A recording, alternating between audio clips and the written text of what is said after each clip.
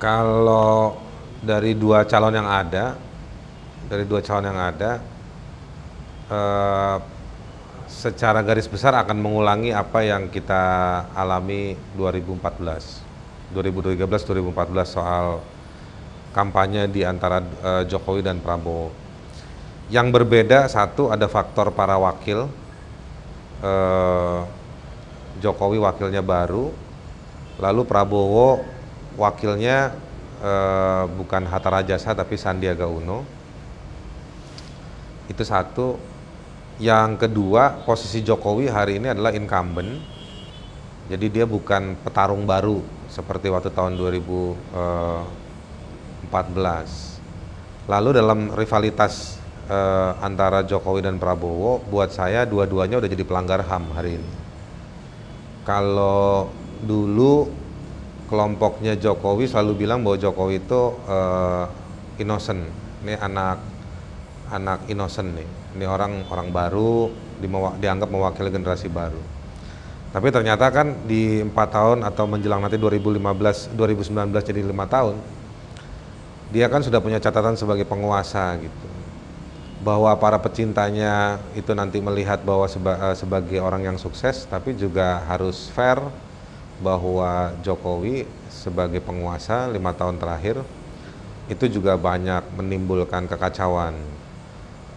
KPK tambah rusak, e, kondisi hukum dan hak asasi manusia itu buruk. Jadi kalau dulu Jokowi itu e, terjebak oleh Wiranto, Hendro Priyono sebagai orang-orang yang disebut dalam laporan-laporan pelanggaran HAM, dikelilingi oleh orang-orang itu. Hari ini menurut saya Jokowi juga bagian dari pelanggaran HAM itu sendiri. Buktinya beberapa kasus tidak ada yang dijalankan untuk diselesaikan. Kasus-kasus baru malah terjadi eh, dan itu juga tidak ada penyelesaian. Jadi eh, yang baru tadi itu soal para wakilnya eh, di antara Prabowo dan Jokowi, wakilnya baru. Yang kedua soal uh, sebagai pelanggar HAM tidak cuma Prabowo tapi juga Jokowi juga sebagai pelanggar HAM gitu.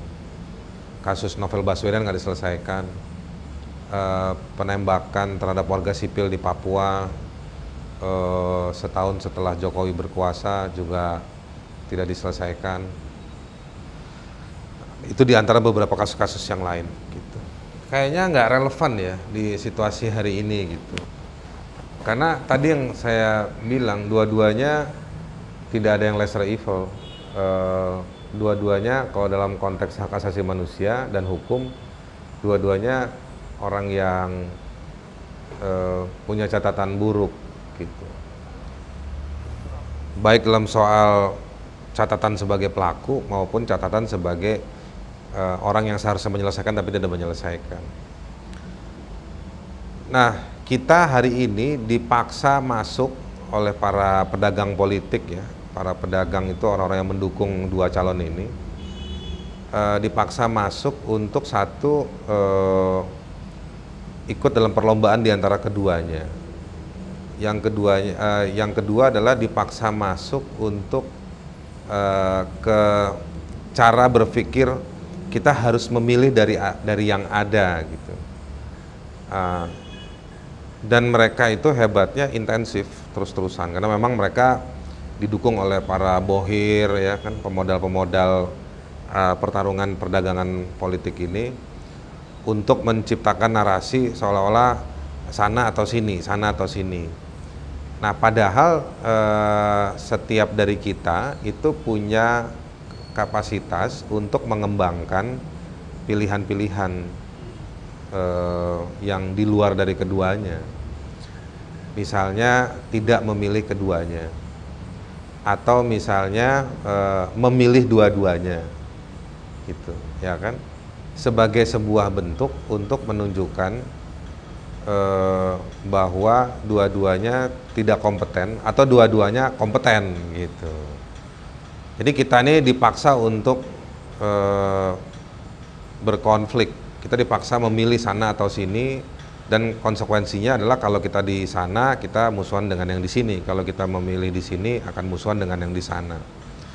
Nah padahal ada persoalan lain dan jauh lebih penting di luar atau uh, ada persoalan lebih penting dibandingkan sekedar memilih di antara mereka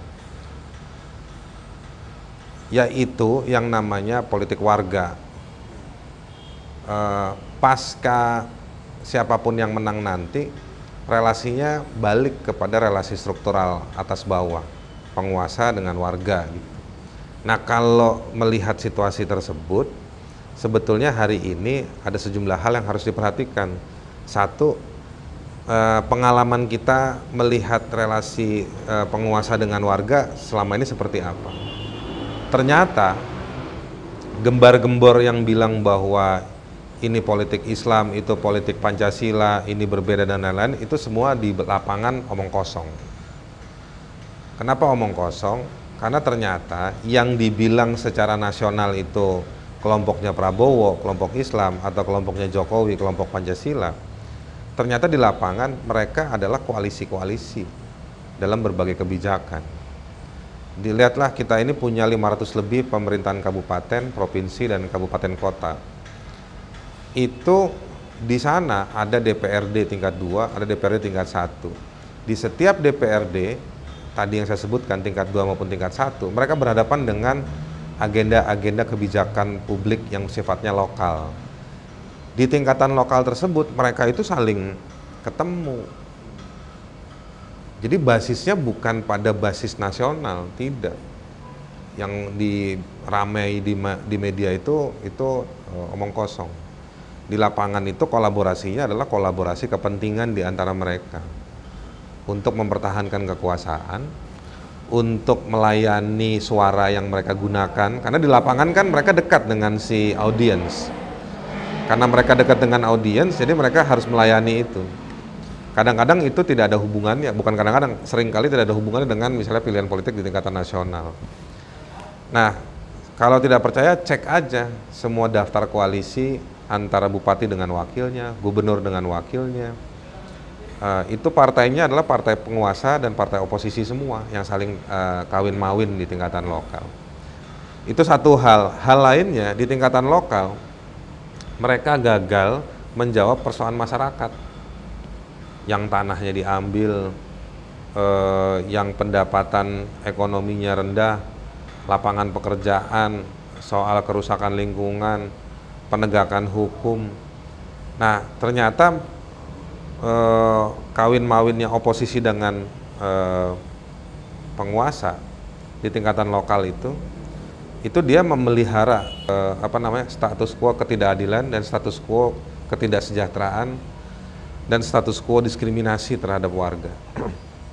Jadi perubahan situasi itu tidak terjadi Eh, dan ini bukan hanya di zamannya Jokowi, tapi juga dari sejak zamannya SBY, bahkan sebelumnya.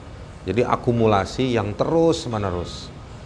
Nah ini yang sebetulnya harusnya jadi satu uh, sebetulnya ini kekuatan politik warga yang diam uh, karena masyarakat uh, tidak terwakili secara partai politik hari ini karena memang masyarakat sipilnya juga tidak muncul menjemput mereka uh, dan partai politik tidak ada yang mewakili. Jadi mereka itu sebetulnya sekarang lagi uh, semakin pada satu situasi yang sakit, uh, sang, sangat kontras ya titiknya. Di satu sisi apatis, di sisi yang lain sangat pragmatis. Ya udah kalau ada yang mau beli suara kita layanin, tapi jangan harap kita menjadi pecinta berharap mereka nanti akan bisa dihubungi atau menghubungi kita itu nggak mungkin. Mereka cuma butuh kita untuk suara, tapi urusan kita nanti pertarungannya lain lagi. Nah, ini situasi yang terjadi uh, hari ini. Uh, jadi bagaimana membangun uh, politik yang alternatif politik alternatif itu bukan sekedar tidak memilih keduanya atau mencoblos dua-duanya atau merusak suaranya atau coblos samping pokoknya intinya dua-duanya nggak ada yang menang. Tapi adalah itu hanya simbolisasi untuk menunjukkan bahwa ada masyarakat yang menganggap bahwa cara berpolitik hari ini tidak relevan, calon yang ada tidak relevan, dan ada banyak orang yang sedang menunggu siapa pun yang terpilih nanti mereka akan berhadapan dengan uh, kepentingan uh, warga yang belum dijawab selama ini dan itu nanti yang akan uh, sebetulnya uh, menjadi PR besar. Nah, balik ke pertanyaan lesser evil tadi itu, siapa dari antara para calon itu yang bisa menjawab politik warga? Menurut saya, dua-duanya sudah menunjukkan ketidakberpihakan pada warga. Satu, cara menentukan calon partai-partai ini nggak ada yang konsultasi ke warga. Semua cuma konsultasi lewat cara beberapa partai misalnya konsultasi yang sepihak. Jadi dikumpulin pengurus cabangnya, ketua umumnya teriak nama ini, yang lain tepuk tangan. Menentukan wakil presiden dengan cara manuver politik semua. Ma'ruf Amin kita lihat bagaimana skandalnya si Yahya Muhaimin, uh, sorry, uh, Caimin ya. Uh, di Gerindra juga ada aksi aksi pendadakan sepihak oleh si Sandiaga Uno. Jadi kalau mau dibilang bahwa partai-partai ini mau uh, partainya warga, enggak lah.